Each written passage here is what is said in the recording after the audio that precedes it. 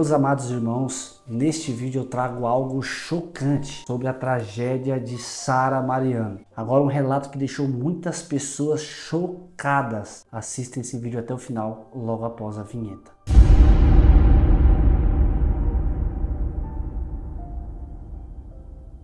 Meus queridos e amados irmãos, mais um vídeo para todos vocês. É claro, se você está chegando aqui agora no canal, eu quero te pedir assim, inscreva-se ativando o sininho das notificações, deixe o um joinha para esse vídeo e também siga nós nas redes sociais. Amados, antes de Sara Mariano perder a sua vida desta forma tão trágica, ela deixou um, um áudio mencionando algumas coisas que acontecia na sua vida. Então, antes mesmo de colocar este relato fortíssimo, pela qual existem circunstâncias pela qual ela teria sido queimada viva, eu vou colocar para vocês que ainda não viu este áudio que Sara Mariano deixou antes de morrer. É, minha filha, ele estava querendo comprar uma arma. Eu não vou jogar o lixo lá em fora, tem uma semana. Aí demorando, demorando, eu fui na ponta de pé pra ver ele. Aí ele tava no telefone falando, falando, falando. Eu pensei que ele tava falando com um rapaz aqui, que é um cara queimado aqui da, do bairro. Que jogaram na cara dele. Porque ele era gente ruim também, né? E tá com, tem cara queimada. Aí fica no meio lá do tráfico dessas coisas. Aí puxei, puxei conversa que a Adriana disse, não, é que o cara queimado tá trazendo uma arma aí pra mim ver, que eu quero comprar uma arma. Aí eu disse, se tu comprar uma arma, eu me separo de tu, viu? Porque do jeito que tu é, com arma, tu já destrói tudo sem arma, imagina tu com arma. Ele, não, Deus me livre, é mesmo não. Aí pronto. Mas eu já disse pra ele, se ele comprar uma arma, eu vou embora sem ele nem ver. Porque eu não tenho um pingo de confiança nele. Deus me livre. Ele sem arma, ele já destrói tudo. Imagina ele com arma. Mas, mulher, eu creio, a irmã tinha até falo. A irmã da universidade que eu tava conversando com ela disse pra mim assim, ó. Não, ele não vai tocar em você não, porque Deus não vai deixar. Em nome de Jesus, né? Mas eu creio que Deus vai resolver. Porque, minha filha, já entreguei a Deus e Deus tem que resolver, né? Só não quero tomar decisão precipitada. Mas Estou no aguardo de Deus responder, né? Porque. Mas eu tenho que agir com ele normal, de bem, entendeu? Porque eu não tenho um pingo de confiança, mulher, um pingo. Eu mandei esse áudio grandão porque eu tô na academia. Então, o tempo que a senhora vai olhando aí esse áudio, depois a senhora escuta com bastante atenção e manda os áudios. Depois eu vou apagar tudo, viu? Pra ele não mexer no meu celular e ver do jeito que ele tá, sei lá. E ele, minha filha, ele vira um monstro.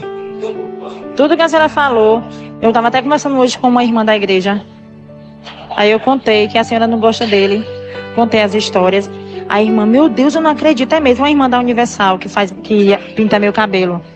Ela, minha irmã, não acredito. Ele faz as pessoas gostar dele, né? Ele, ele conquista as pessoas. Eu, pois é.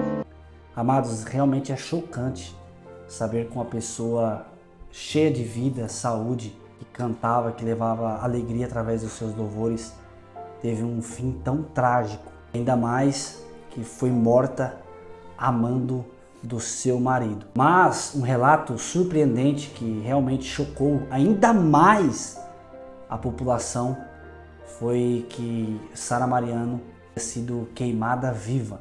Então, bora ver esse relato impressionante e ao mesmo tempo chocante. Um corpo queimado lá. Morreu, morreu queimado. Todos os queimados, acidente ou, ou matado por fogo, né? Alguns crimes aí. Todos morrem assim com a mão cruzada aqui, ó.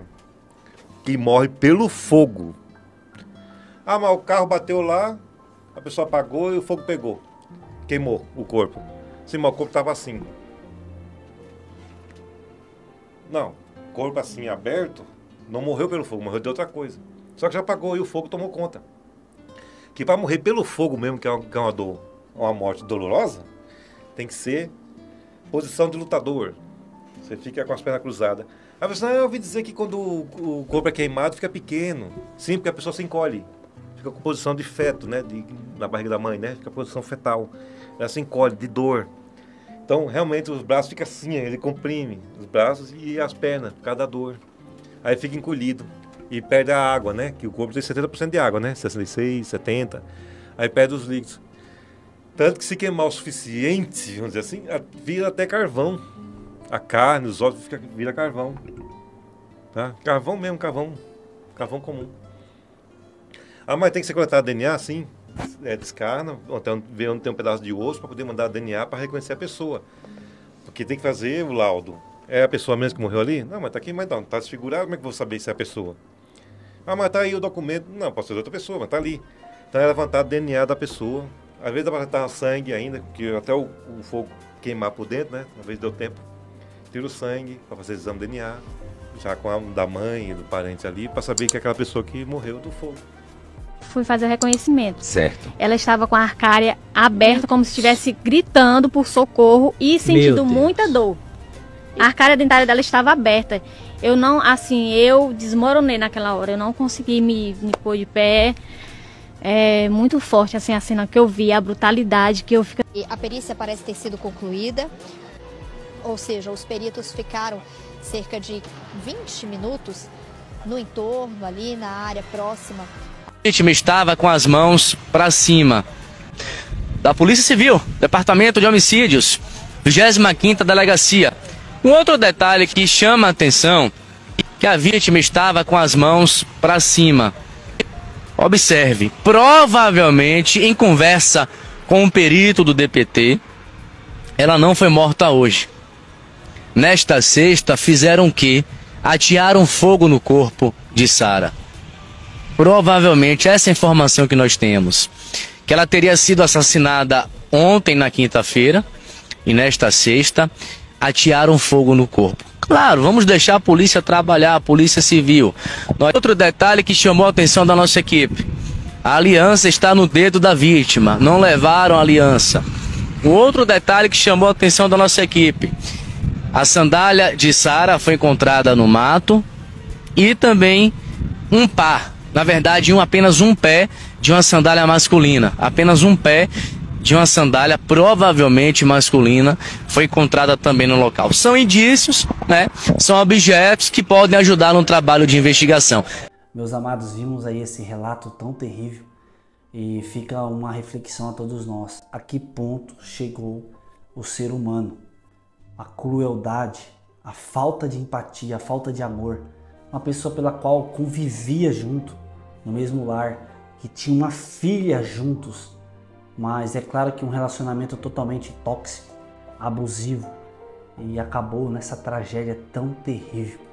Eu confesso que a gente fica até meio atordoado com o grau em que aonde este caso está chegando. Cada vez notícias piores, cada vez coisas piores está chegando aqui na internet é claro que nós torcemos para que este caso venha terminar com o mandante e também o criminoso que cometeu esse ato tão terrível, que venha ter justiça, que venha pagar por esses até claro que nada vai trazer Sara Mariana de volta, nada vai devolver ela com vida para sua filha, para sua família, mas isso não pode acontecer novamente. Se você está no relacionamento sofrendo agressões, você deve terminar urgentemente esse relacionamento porque você pode ser a próxima vítima. Você também pode passar pelo que ela passou. Então, se você está passando, novamente em mais um vídeo eu falo novamente isso.